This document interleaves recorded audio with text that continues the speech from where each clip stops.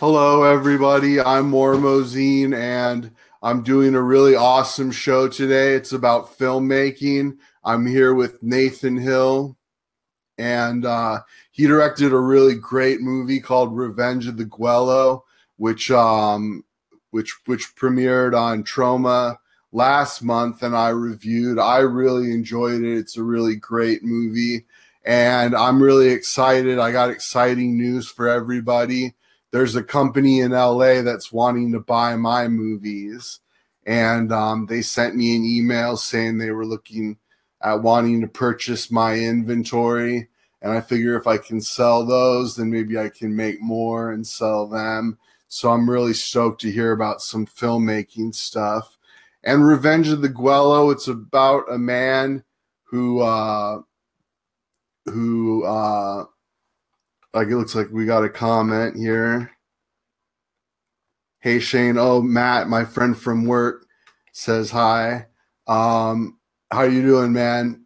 Uh, anyways, uh, so he, it's a man and he's in love with this woman and they're about to be married. And then the woman mm-hmm. is killed by like the mob, by like a, a woman mafia. Triads.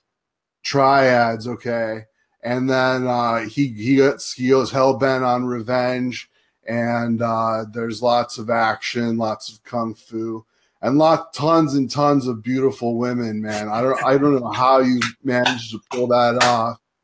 That's actually my first question: is how what was your casting process like, and how did you find all those women to be in your movie? Great question, man. You know, and it was great when you picked up on that um, on the last uh, review you did, which was great. I think your review was just just putting it out there was one of my most favorite that I've seen so far on the film. So that was great. Thank you, man. Um, oh yeah, no problem. And uh, I think you, I really think you understood it. I think you got it. You know, there's a lot of people they can't figure out if it's sort of tongue in cheek or whether I'm trying to be serious. They're getting a bit caught in the middle but I think you understood it. It's it's a fun movie. Do you know what I mean? It's exactly what you said. It's like a throwback to the Van Damme kind of style of martial arts, which was a bit slower with an explanation mark, almost like a, a reinvention of the Bruce Lee movies. Um, yeah. It wasn't supposed to be the Matrix because I don't have the budget for wires. Do you know what I'm saying? like, yeah, so, well, I I enjoyed it on both levels. Like laughing with it and laughing at it and just being impressed by the action and everything. Because I'm I'm right. a real stickler for action, man. I when I when I watch a movie, if there's if it's over edited or shaky cam, there's so many yep. sneaky tricks Hollywood does now to, to cut corners on fight sequences. So when yeah. I see a movie that has good fight choreography, then I'm really impressed. In this movie, you did have great fight choreography, I thought. Thank you, my man. Half of it was me because of my martial arts background, and the other half was Essential Defense Academy. So guys that you know that do a lot of jujitsu and stuff like that. Um, one of the guys was the Australian silver medalist um, sumo wrestler, and so he brought a lot of his expertise as well. Um, but getting back to the girls, it's an interesting question because the casting on this movie was a long process. It actually took me a year, full year to find all the girls that fit those roles. Um, but obviously that was the fun because you know when you got a script like this and it calls for beautiful Asian talent, you as a director, you know you're really in a seventh heaven. You know, uh, particularly for me, I love uh, the Oriental girls. Um, I kind of favor them in looks. I've always just liked their features. They look yeah, amazing makeup. You know what I'm saying? Um, yeah. So yeah, yeah, it took me like a year of talent scouting, and because I'm in Melbourne, Australia, you know, there's there's not a lot of talent. You know, there's a little bit, so you've got to sort of, you know, weed your way through to try and get those characters, and that's probably why it took so long. You know. Oh yeah, I can imagine. And did you put out did you put out ads on the internet or did you put yeah. Ads? Yeah, for sure. I mean, I have um there's a couple of websites we use here for like open casting calls that are pretty popular, so I use those. Um, I also use Star Now, which I think you've got in LA, but it's probably not very big in LA. It's more, I think it's greater in New Zealand and Australia. Um, and I put out an ad. Um, and then also just from my own work, you know, because I work in casting as well. So I was able to kind of access my work database So it was kind of an amalgamation of like all these sources and then putting it together and saying, okay, well, who's who's right for what, and then running the auditions and the rehearsals. Um, but uh, a lot of it I kind of handpicked. You know, you just kind of instinct. You know, oh, this person could work. Then you got to figure out like, can they act? And then if they can, then you know you can sort of and sometimes you know train them and get them to that point. As you know, as a filmmaker, just trying to get everyone on that kind of even even kindle. Yeah, definitely, definitely, and they all could act. I thought this movie had great acting, and uh, and also uh, did were were any of the um, actresses like athletes or gymnasts or like mm. like how did they with the with the fight choreography like like did you yeah, have to it, look for that? It, yeah, it's a good question. It was kind of a bonus when they had done some martial arts, you know. So like one of the girls was a master then she had. I was like, okay, boom, that's sold. Um, other times, I took them into rehearsals and actually taught only the basic moves or the moves for the scene, you know. So, like, they might have had, say, one girl was like an acrobat, but she hadn't kind of learned punching and kicking, but I, because she had the physique, so it was easy, easy to go, okay, well, you're going to do these moves to just perfect those. You know what I mean? So, I didn't try to push people um, too far outside of the comfort zone where all of a sudden, you know, they're doing a whole style. You know, sometimes that wasn't necessary. It was just, okay, here's the scenes. You got three punches. Let's just work on those you know and as you know women um, they have a slightly because their bodies are different when they do these moves they always turn out a little bit different on screen than the men and uh, there's nothing worse than you know sort of bad choreographed women fighting you know it makes me i just kind of cringe so it was important to get that brutality because as you know there was a lot of blood um, so it was almost like you know, these model Asian talent that could act that then some could fight or I'd have to teach how to fight. And that was an awesome process, man. I'd do it again. Right on. And then there was also some pretty big explosions in the movie. Like I remember in particular one really good explosion. And like like how how difficult was that to film? Yeah, that was uh that one you're talking about was CGI. Um so uh basically utilizing a guy I've, I've, had on previous films is really good with that, really good with digital compositing. Uh, but the trick is the shot, you know, because if you're going to do those CGI effects, you've got to a it's got to be on it's got to be a tripod shot you know it's got to be lit right so all already i'm thinking wide shot daytime and then you're looking at the frame and what's happening in the middle of it so um, if you look really really closely in that shot there is a little bit of flare as i move you know right on the edges because um, oh. you're keying it. So yeah, it's really tricky. Um, but yeah, once you've sort of done it a few times, you, you just you get better at it. It's just a practice thing. That shot you can see now in the background is what we're talking about playing live now. But um, yeah, it was uh, it worked out okay, you know. So it was good to have that like almost a money shot for the trailer. You know, you always need a few of those.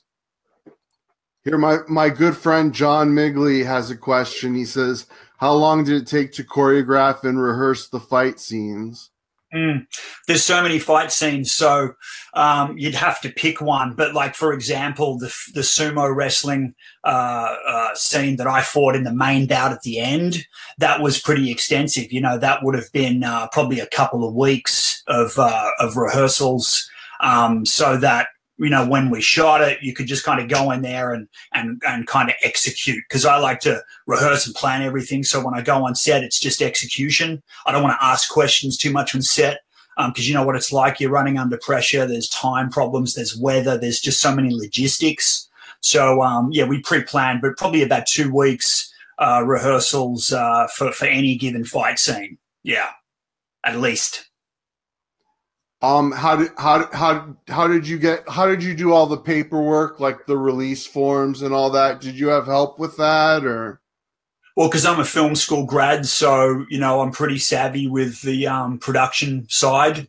So, and I've got my own company. So, um, when you're doing a release form, you know, as long as it's your company um, and you've got the, that release from the artist, then uh, legally that that's binding. So that that's a that's an easy part. So, so for some for somebody who's not been to film school, do you sure. think it'd be a good idea to partner with somebody who has been to film school to make sure that you do all the legal stuff and correctly? And it's a good question, man. you know, when you're in film school, you know, it's hard because you're going in with such expectation and you might even have an health, a healthy ego and you do the best you can. But then when you graduate, you realize there's all these things they either didn't know or didn't have time to teach. And it's kind of like, you know, we've taken you this far. Now you got to go and learn it on your own. And, you know, filmmakers, we're also self indulgent and very protective. We're not that giving sometimes. And, and it's taken us so long to learn how to do it. A lot of people don't want to give you the, the answers. You know, it's almost a secret. It's like, you know, that's my gold and I'm not going to share it with you. You know, there's that right. competitiveness. Um, but I myself have always seeked out, you know, a mentor or someone greater than me, and and that's a lot of people, you know, um, that uh, are ahead of me that I can sort of talk to. For example, I, I, might not have mentioned it, but I talked a little bit to Paul Heller, who um, was one of the producers on Enter the Dragon, you know, and I actually spoke to him. Yeah, bro. So I spoke to him a bit online before I even shot the film, you know, and uh, William Katt, who plays the greatest American hero, um, you know, from the TV show. He's also a friend. So sometimes I would call on him and say, hey, what do you think of this or that? And, you know, so, um, you know, it's very humble, you know, you know to, um, it's humbling to, uh, you know, be great at what you do, but always, always uh, respect your elders, you know, and that, and that's kind of what I do. That's great. Yeah, I know filmmaking is definitely like a team sport. It takes, it takes multiple people. And so that's really good to know that you can, that I could reach out to people and and, yeah. and ask questions and stuff as far as like getting all the paperwork done. Um, is there what what's coming up next for you? Your next movie? Yeah. So I'm, I'm actually it's it's cool because um, I, I like to change genre. You know, I'm one of those guys who's never wanted to be boxed you know so i've already got like a gothic horror film and i've got a sci-fi movie and now i've got my martial arts film and uh, you know the next one i'm doing is uh, is kind of a drama mystery sleuth um, called Colorblind, which I'm in post production now, and that's got Jane Badler in it. Do you remember V, the series Visitors? Do you remember Jane? Oh, yeah. She she was the alien. She ate like the guinea pig. Do you remember that? So, yeah. Um, so she's she's uh, one of the leads in my new film because she's she's got a house. She also lives in Australia as well as LA.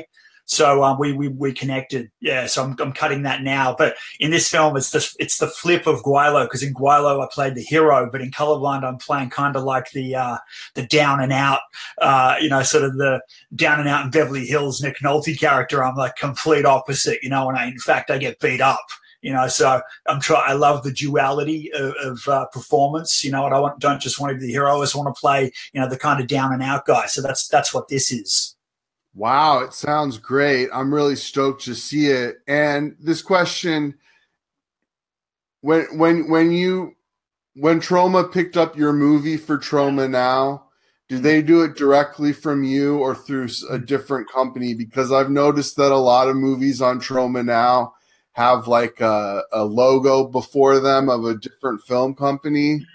Mm. So yeah, good question. Um, so Troma would have gone through my sales agent in America, and that sales agent I was able to get uh, through the festival circuit. Like so, for example, I had a movie before Gweilo called Model Behavior, which is like an action thriller. It's kind of a uh, uh, my version or my take on Basic Instinct. You know, it's the cop that falls in love with the with the chief suspect who happens to be a beautiful girl. oh, nice. Uh, you'd actually like that. So um, I entered that one into California Film Awards and I won. I won Best Film. This was like back in 2014, I think, or 2015. Um, so through that, I got a sales agent, and the sales agent was able to take it and shop it around to those companies. So they take a cut, you know, they take a percentage like a royalty. Um, but uh, but it works because you know I personally you know I'm so uh, engrossed in what I'm doing I don't have time to do that stuff and that's why those guys are there you know Oh yeah. Yeah. Um so this is kind of off topic, but I'm sure you're aware of the, the gun issue in America, all of the gun violence. Is, yeah. is right now a good time for a Death Wish remake, do you think? it's funny you should ask because um, uh, a local distributor here, do you know Monster Pictures? I've heard of them. They, They actually did. You know the Greasy Strangler. Yeah, I'm a big fan of that movie. Yeah, me too, bro. So I, I helped out on one of the special features on disc two of that, um, and uh, with with some casting and stuff, because uh, Monster Pictures is the is our local distributor for that film, and um, they um, uh, they're also getting behind the new Death Wish. I was just seeing online just earlier that um, they're promoting it um, and they're also interested in Gweilo, is why I was why I was getting to that, um, oh, which will be the Australian region. Um, but yeah, it's funny, man, because you know over here, I guess um, we've got an opinion, but I've always felt like with Australia, they're a little bit behind. You know, they're kind of like geographically, they're like you know at the bottom of the planet. You know what I mean? And we we get everything last. Like we're we're, we're taking from America, we're taking from England, we're taking from Asia. You know, but we're always that little bit behind. So we're, we're probably a little bit wary to make too much of an opinion because that's like your country. We don't want to offend anybody. Um, um, so, yeah, just out of respect. Um, I uh, I guess the only thing is I was I was listening to the radio the other morning in, in the car, and I was listening. I think it was John F. Kennedy's nephew who's in Parliament, and he was talking. He was talking about, and actually on air, they said, you know, why don't you run for president? Because this guy just spoke so amazingly. And the thing that got to me was him talking about the fact that a lot of kids, a lot of primary school kids are killed in schools, you know, across America uh, because of guns. Um, and that really shocked me because that's not something that we kind of get in the news. We only we only really get you know the big event when there's like a mass shooting, but these other things that are going on where kids are still being killed, um, there's a lot of stuff that we don't we don't hear about. So when I heard him speaking, I was kind of I was a bit upset about that. Oh yeah, definitely. Um, you you yeah you've you've made a horror movie, haven't you? Yeah, Tomboys. Tomboys. Where where is that available to, to watch? It's actually getting a re-release next month through SRS and Ron, and our good friend Ron Bonk, who's just just done Shark House. Nice. So it's going to be released on DVD. Yeah, yeah. Cool. I'll have to keep an eye out for that and, and order that. Maybe I could pre-order it even yeah, we should maybe do a chat on that because you'd love it. It's um, it's real kind of Troma Fangoria kind of ballpark. You know, it's about uh, five country girls kidnap a serial rapist to, to torture and murder him to get revenge. Oh wow, it's really sick. It's really sick. Yeah. Yeah, it sounds right up my alley, man. Well, hey, I want to I want to thank you so much for chatting with me. And um, do, would you would you like a copy of the audio of this? Oh man, either way. Um, and is it, has anyone else got any other questions while we're here, or did you want to ask me anything else? I've got a little bit more time if you like. Oh, okay. Um,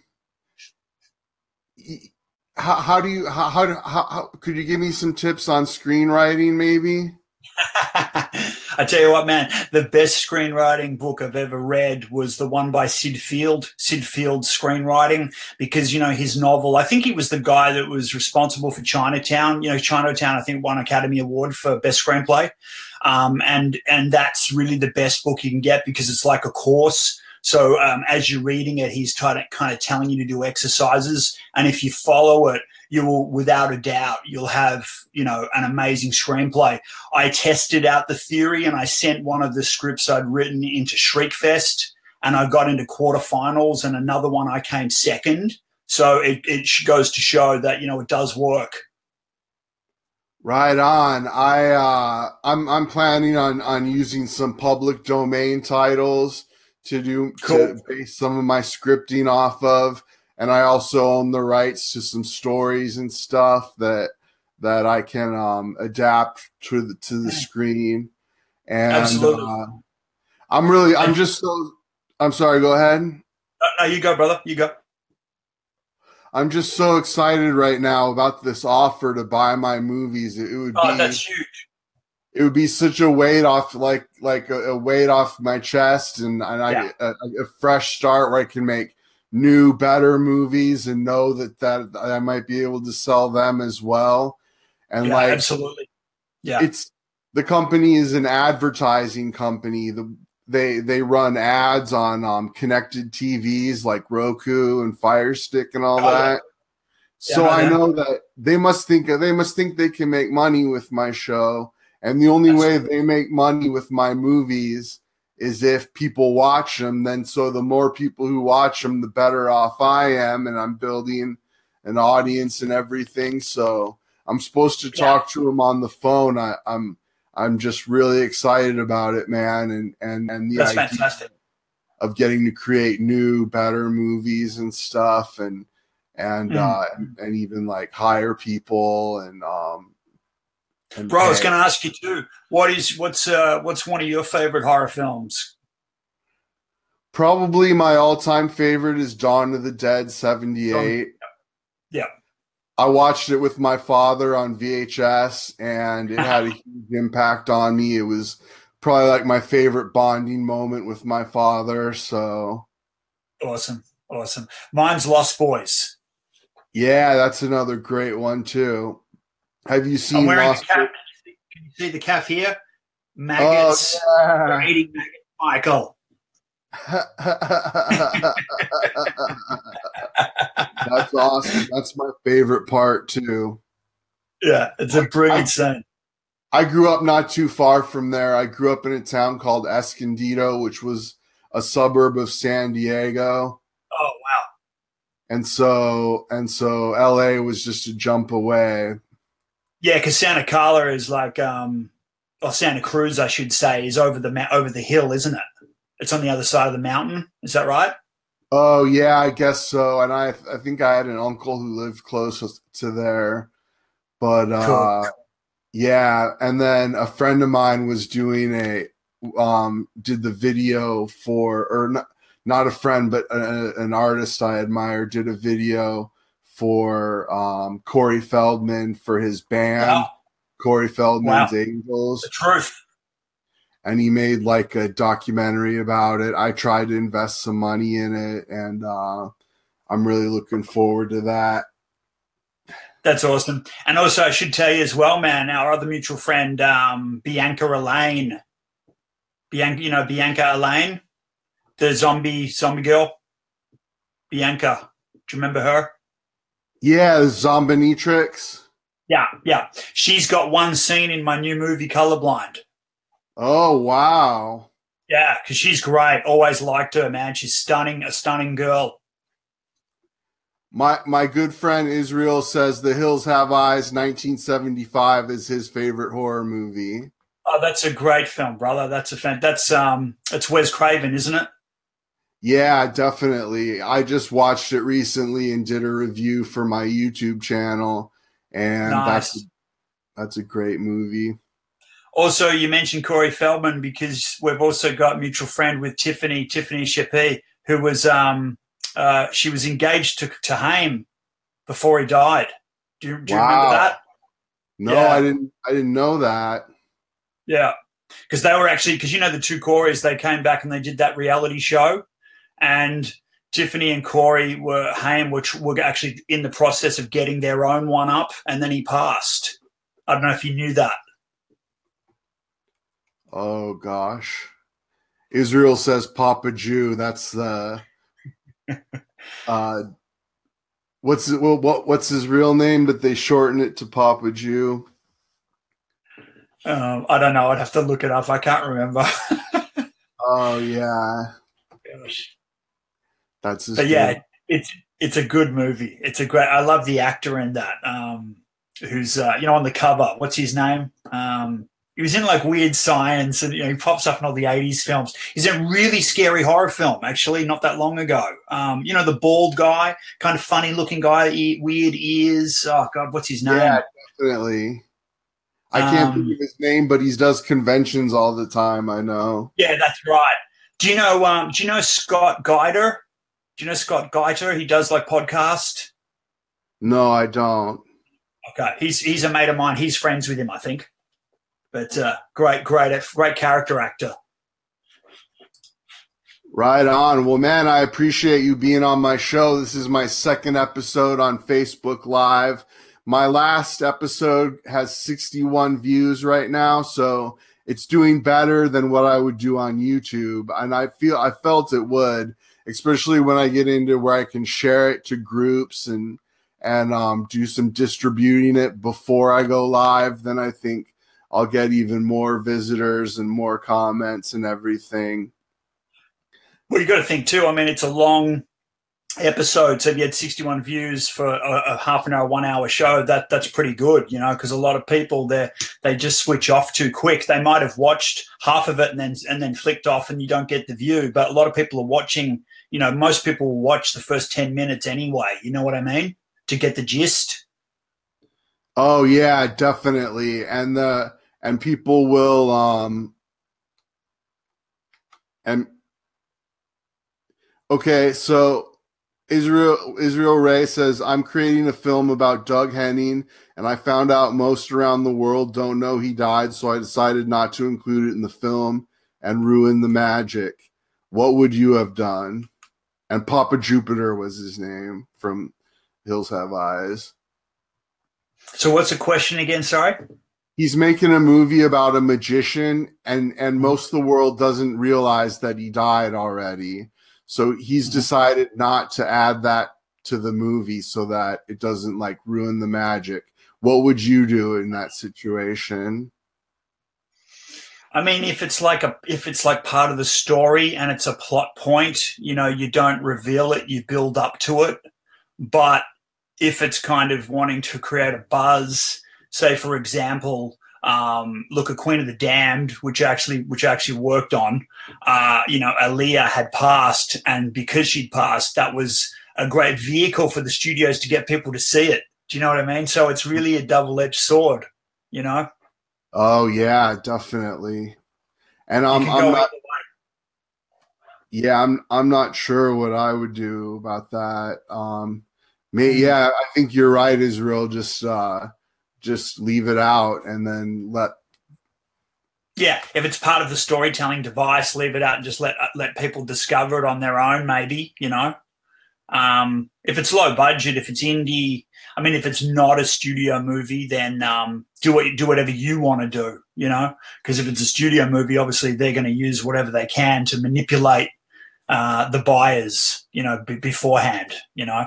Like the whole thing with the crow for example you know when brandon lee died I, I reckon they got double the amount of people buying tickets just because they wanted to see this person or this actor who's who was no longer with us, you know, that had made this movie. You know, like they probably got double the audience because he had passed. You know, so it's it's it's funny what the studios do to manipulate um, the outcome. You know, the the end dollar um, the margin. Uh, so I think when you when it's if it's not studio and it's your own film, you do what you want. You know, you got to stay true to yourself. You know, do what you think is best. That's my answer. Is that cool?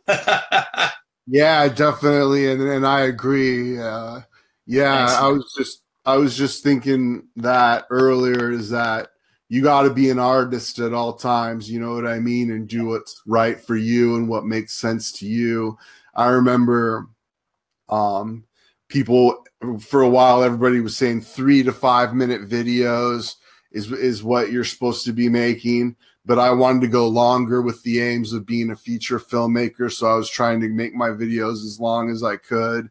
And now i'm mm. glad i am because i'm at a point where i'm getting ready to hopefully sell those long form videos and that mm. they that that's why they're valuable is because they're long enough to carry advertising and everything. So and you know, eventually as well, like, you know, you're building up a, a, body of work just with these interviews. I got a friend who's doing a similar thing with the podcasts and he wanted to go longer. And now his pods, they're like an hour or even an hour and a half. But when you look at his catalog now, it's extensive. And I said, you know, one day you're going to be able to package all that. It's going to be worth something for you. You know what I mean? Um, so it's it's it's again doing what you want to do. But I love some of your reviews, bro. I think I actually do think you're on the money. Like I've watched a few different reviews you've done that are even movies I wouldn't watch, and I think you're pretty spot on with like changing genre. Like you seem to be, you know, you know, you're not just in a horror realm, even though you're doing you're doing stuff with Troma. I think you know about cinema in general, uh, which is really cool. Um, and I was going to ask you as well um, how you how you got into Troma. What was your affiliation to to be the reviewer for Troma TV? How did that happen? Um, well, I've requested to be on Troma Now TV, but I haven't heard back yet. I do it just more as a fan. Um, but I I first saw them on this channel called USA, and mm-hmm. USA had a program called Up All Night. Oh they, yeah, and uh, and I really enjoyed the movies. And then one year I was at Comic Con. I was about 14 and I was wearing a Last House on the Left T-shirt, and uh, somebody said "nice T-shirt," and I looked up and it was Lloyd Kaufman, and he was wearing he was wearing a Surf Nazis Must Die T-shirt, and I said, "Yeah, you." I said, "Your T-shirt's cool too, man," and and so I saw him over the years at the San Diego Comic Con, and just kind of uh, got to know him. Oh man, I'm getting compliments in the chat room. Shane is a visionary and innovator. Thanks so much, man. That's awesome. Yeah, I just I try. And, yeah.